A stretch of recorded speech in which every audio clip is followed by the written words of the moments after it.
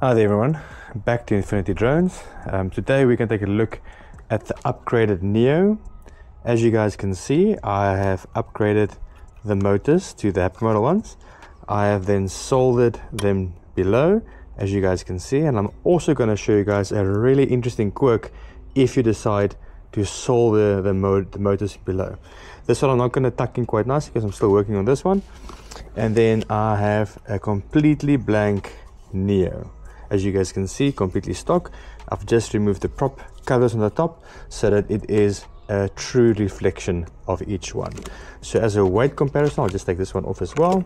So you guys can see that they are exactly the same.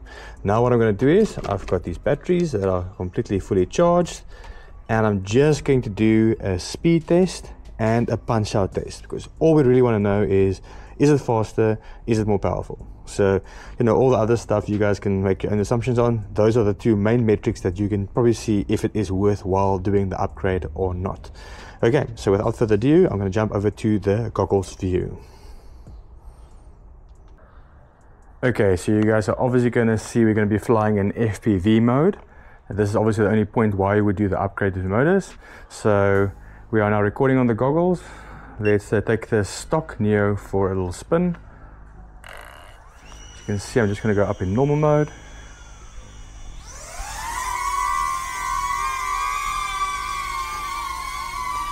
Let's go with the little field over here. And you can see there's a bit of a breeze. So now that we know the breeze is to our left, we can fly into the wind and against the wind. Okay, so let's click over to manual. Oh, wonderful. This machine is not sorted yet. So if you don't know how to do that, simply go into menu, controls, and then change that sport mode button to manual mode. And then we go to gain expo and take that limiter off. There we go. So you can see we can go manual mode. We can flip in and we're in manual mode. So first off, let's just go up with the road. You can see we're hitting 50, 57, 60 or 59.2. Let's just go back with the road. We're going to fly full speed again. As you can see now we're into the wind and we're only doing about 41 max. 42 there we go. That's a good one.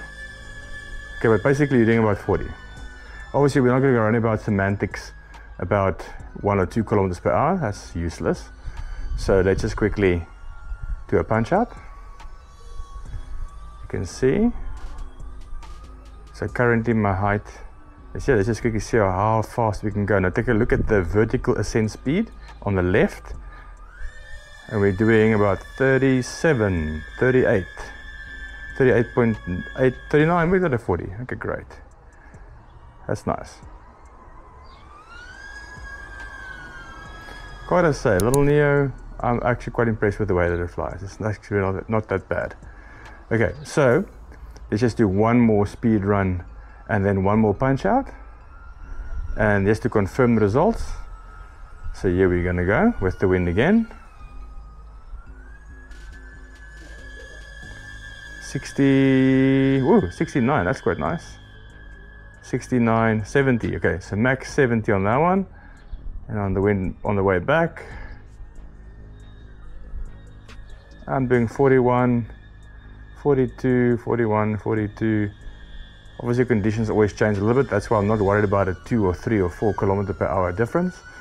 So that's it. Okay, good. So let's quickly switch over to the other Neo and um, have some fun. So if you guys are worried about how to do it, you flip just back to normal. As simple as that. You can just fly normal Mavic mode. Easy peasy. Okay, cool. Let's switch over to the other Neo.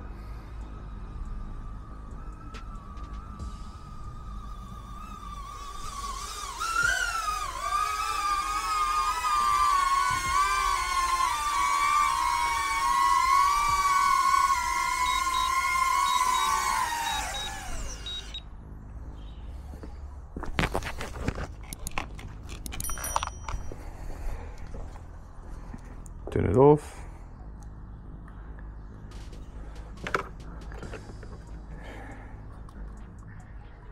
So all I'm doing, as you can see, I'm just turning it on. And as you can see, there's a bit of an issue with this one. It's not powering up properly. This is a very strange issue that I found with the Neo after doing the motor upgrade. It has an ESC error. Okay, so when you see this error, I'm just going to show you. So when you turn it on and you see the motors are not going through the whole setup, that light is going to stay red. And when that one stays red, it means that there's an ESC error. This is the one thing that I found when you upgrade the motors, that it is quite temperamental. So uh, I'm just going to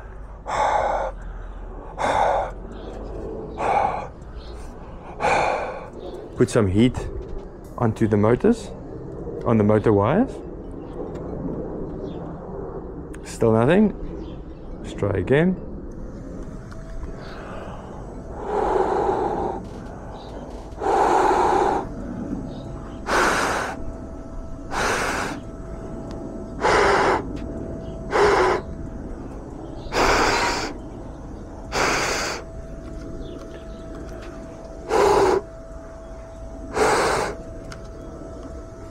Try again. Okay, joy. No, I'm not getting it right. Very frustrating. This is the one thing that when you do this mod, for some reason, this resistance changes quite a bit with heat. So I recommend actually just soldering straight to the ESC. It's a bigger job but this is probably the shortcut way and it's going to give you some problems in the long run if your temperature changes a lot. Um, in my place, the temperature changes quite a bit, so I've got a bit of an issue on that. So let me just quickly move my cables around again.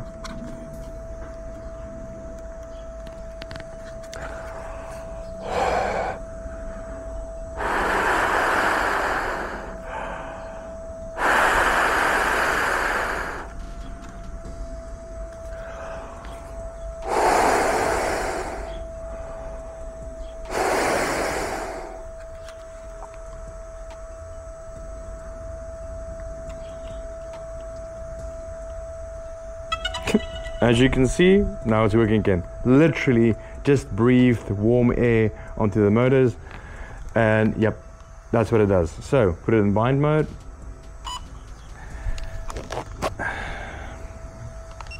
Goggles in bind mode.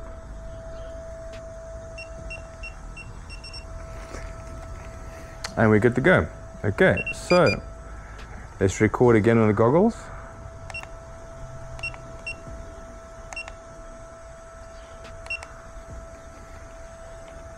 Oh, sorry.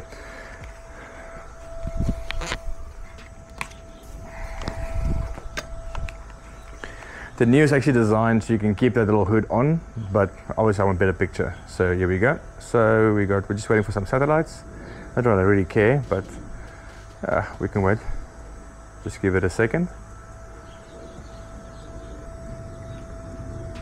That's good. So if you go into manual mode from the start, you can double tap the motors and you can power it up. Double tap to stop it again, as you can see. So I'm just going to go into normal mode again. Right, and here we go.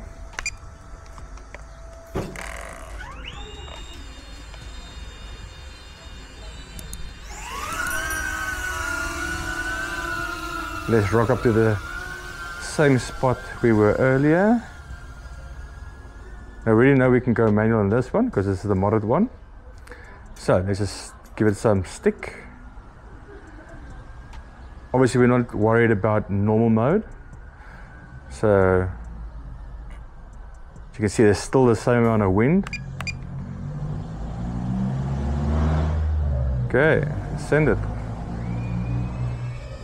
You can see immediately we're almost hitting 80. That's 60, uh, 76 kilometers per hour. Okay, so it's not a, not a major difference.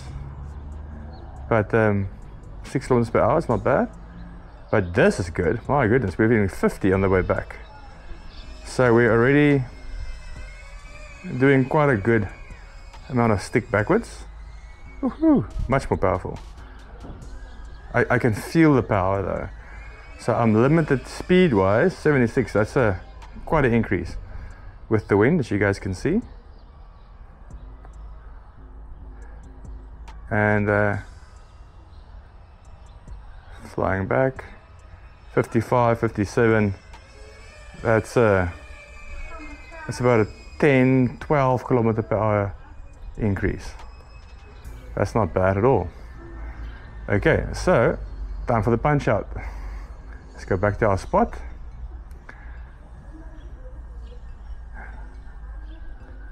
Ah, complaining about my batteries, you guys can see it is pretty cold here. My battery's not low, as you guys can see, but anyway, let's see what the what's going to go with under that power. Okay, we go. Maybe I need to get a different battery. Okay, let me just quickly go back to normal mode. Come land and just plug another battery in here. The battery overheated with the, the power that we put through. That's interesting.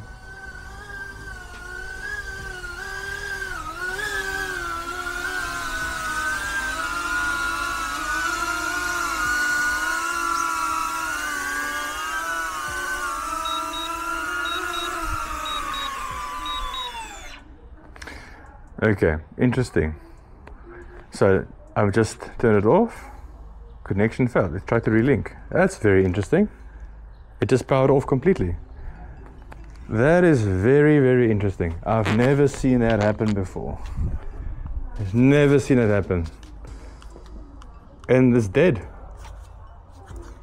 What? Okay, let's put another battery in here. Battery is warm, but it's not. It's nothing crazy. It's just completely dead. Did we just kill a battery?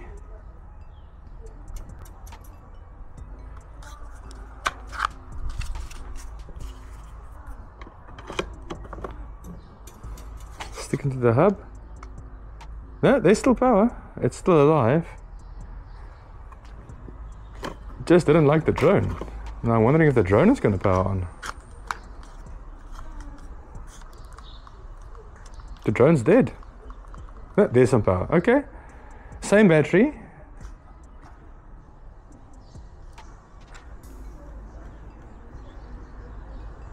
Okay, same battery's in. Didn't change the battery. Let's check what the goggle says.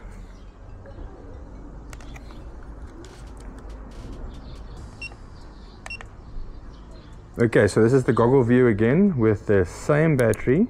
As you guys can see, it's at 60%. So I didn't change it. Just when I landed with that battery message, it actually said uh, battery overheated. And then when I landed, it turned it off. So it looks like the DJI battery actually protected itself. And now, now that it's cooled off, it's, it's go time. Okay, so I'm not going to put a different battery in. If I have other issues, I have other batteries, but obviously I want to do the same test as much as possible with the same thing. So let's just try again.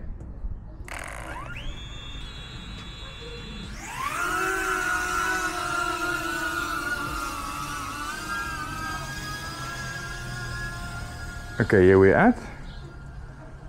Okay, so we've done the speed runs and we've done the, yeah, well, then you do punch outs basically. Okay, so let's just go to manual mode. Okay, so we are manual mode now, as you guys can see. The, drone really does feel a lot more nippy. The, the hover throttle is, is a Okay, so apologies for the, the audio. My go through battery went pretty flat, so it's still here. Just give it a second to catch up. I'm going to try and keep as good audio as possible. Okay, so I'm still in the air. I'm still recording. Let's go to manual mode.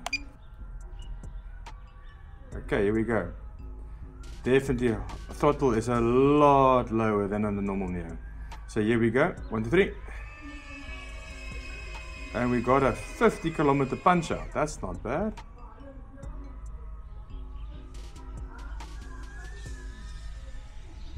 Okay, obviously we're flying manual does hit the battery quite nicely, just like it. Okay, let's do it one more time. One, two, three. No, 52. That's not bad. Okay, so it's it's a definite improvement. If, if you had a, a top speed of 50 kilometers per hour, sorry, a 40 kilometers per hour, and you go to 50, you know, percentage-wise, that's a pretty big improvement. So I would definitely say the upgrade is worth it. I want to just about that battery error that we got. Let me just do one more speed run and see if we get that error message again.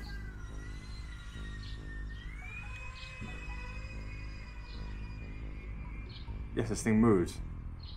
Easily gets up to 75 kilometers per hour. That's not bad. And 52, 53 against the wind again.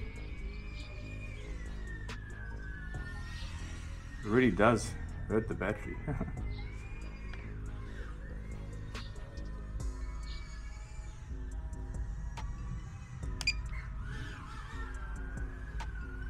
okay, that's it. Battery done.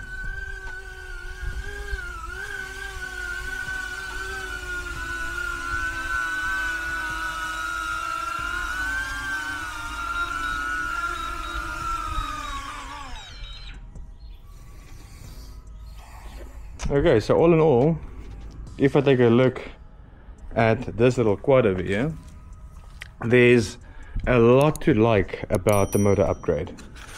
The the first one obviously is the speed. You guys saw me getting 50, what, 75, 76 kilometers per hour versus the, the stock. And then obviously the punch out speed is at least 10 kilometers per hour faster as well. So you're looking at a, a general 12 to, what's that, 12 to 15 kilometer increase that's not bad. So uh, power wise there's definitely a lot of power increase. But obviously if you're not going to be flying at FPV mode then what's the point?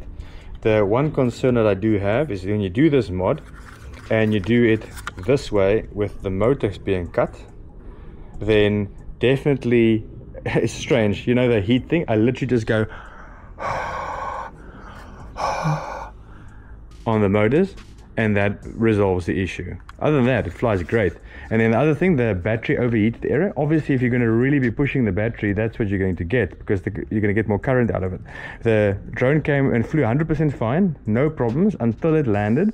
And once it landed, it turned itself off.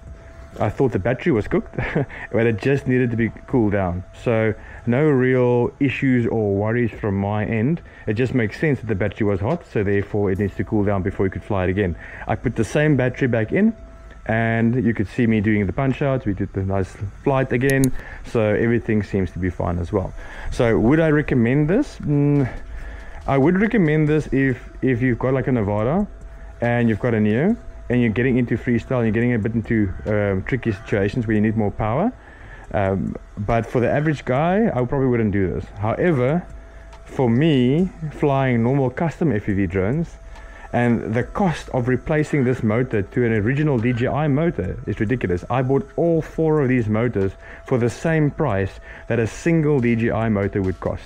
So out of that point, this is a complete no-brainer. It's definitely more fun to fly. You've got a lot more throttle resolution because you're hovering around about 25 30% where with a normal neo you would be hovering around about 35 40% probably so all in all, the drone is a lot more responsive, lots more powerful. And yeah, I actually enjoy flying this a lot more than I do in fly, flying the other Neo that I've got here. So yeah, you guys can decide what you want to do with this. But for me, this was definitely worthwhile, just purely out of a cost point of view, because one of the motors on the Neo did die.